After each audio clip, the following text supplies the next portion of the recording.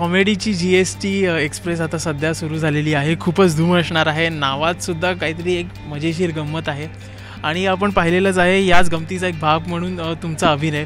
आणि जो आता आम्हाला वेगळ्या रूपाने आम्हाला दिसणार आहे काय खासियत आहे आत्ताच्या पर्वामध्ये? ह्या पर्वामध्ये मी पण नवीनच आहे त्यामुळे माझ्यासाठी हे सगळंच खूप नवीन आहे.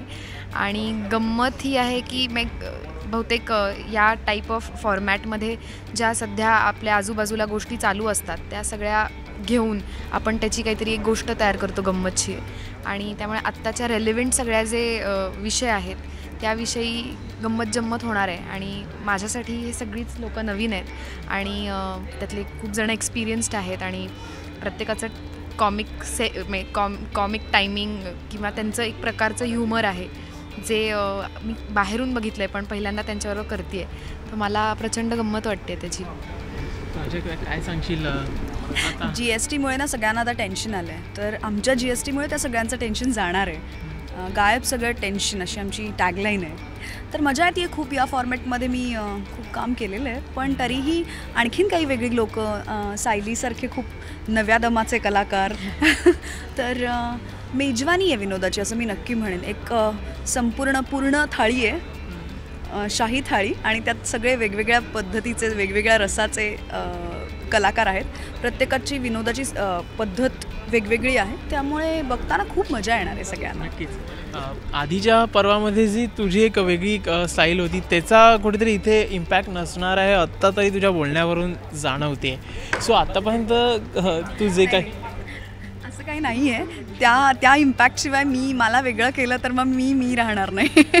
त्यामुळे ते असणार आहे पण मध्ये मध्ये वेगळंही करायचा प्रयत्न मी करते या पर्वामध्ये.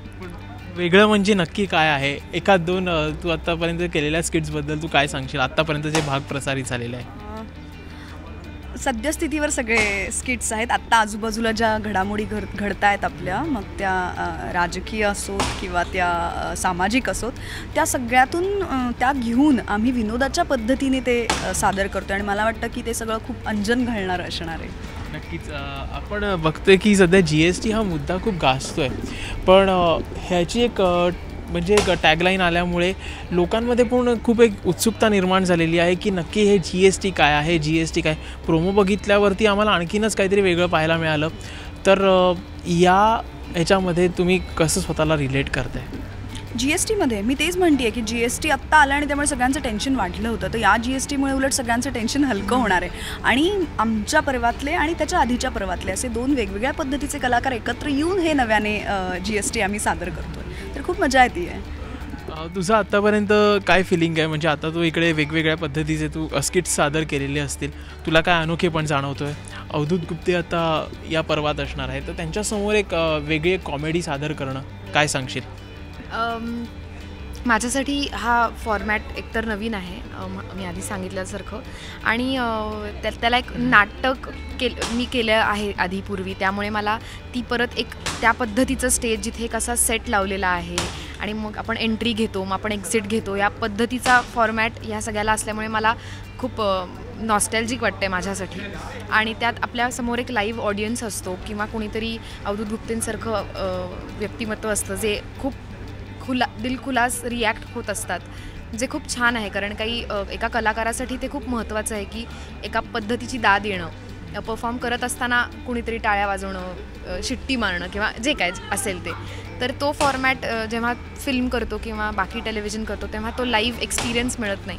तर तो लाईव्ह एक्सपिरियन्सची मला खूप गंमत येते आत्ता आणि मला ही जागा बघायलाही खूप पॉझिटिव्ह आणि अशी गंमतशीर आहेत त्याची मजा येते. नक्कीच एक शेवटचा प्रश्न आहे जो दोघींसाठी. तो म्हणजे कुठेतरी कॉमेडी ॲक्ट्रेस म्हटल्यावरती त्या इतर लोकांचे फिरकी घेतात. तर या ह्याच्या पर्वामध्ये तुम्ही कधी कोणाची फिरकी घेण्याचं मुद्दामून असं ठरवलं आहे का? कोणीतरी तुम्हाला जर दाद दिलीस मग तुम्ही काहीतरी वेगळं असं काहीतरी म्हणणार आहे. नाही नाही. मी विषयांची फिरकी घेते आणि तेवढी मला पुरते. माणसांपर्यंत जात नाही मी. मला वाटतं की ते ते त्या मोमेंटचं असतं आणि ते तेव्हाच घडेल असं ते ठरवून करता येत नाही. ते तेव्हा सहजपणे जर घडलं तर त्याची खरी गंमत आहे. त्यामुळे ते आत्ता ठरवण्यासारखी त्यात काही गोष्ट नाही आहे असं मला फायनली काय सांगाल तुम्ही प्रेक्षकांना जाता जाता? बघत राहा जी एस टी वेगळा प्रयत्न आहे तर तुम्ही पाहून अप्रिशिएट केल्याशिवाय आम्हाला मज्जा येणार नाही त्यामुळे नक्की पहा. आणि मला कायमच असं वाटतं की विनोद असं माध्यम आहे की जे सगळ्या स्तरांपर्यंत पोहोचतं आणि त्यातून मांडलेला विचार फार टोकदारपणे सगळ्यांपर्यंत पोहोचतो. तर नक्की ही नवी मजा अनुभवा आणि कळवत राहा तुम्हाला कसं वाटतंय. येस एक तास तरी डेफिनेटली तुम्हाला काही टेन्शन नसेल याची आम्ही तुम्हाला गॅरंटी देतो. नक्की पहा कॉमेडीची जी एस टी एक्सप्रेस सोमवार ते गुरुवार रात्री नऊ वाजता. आपल्या लाडक्या कलर्स मराठीवर.